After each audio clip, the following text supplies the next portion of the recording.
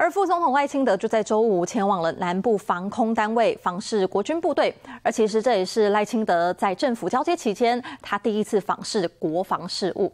赖清德视察国军国防部长邱国正，当时也陪同出席。而赖清德致辞的时候也提到，近年来我国有系统的提升国防预算，改革征兵，还有后备制度，也引进了新型战力等等，透过多层次来推进，就是要提升国防实力。贺阻任何对国家安全的威胁，并且确保区域安全的稳定。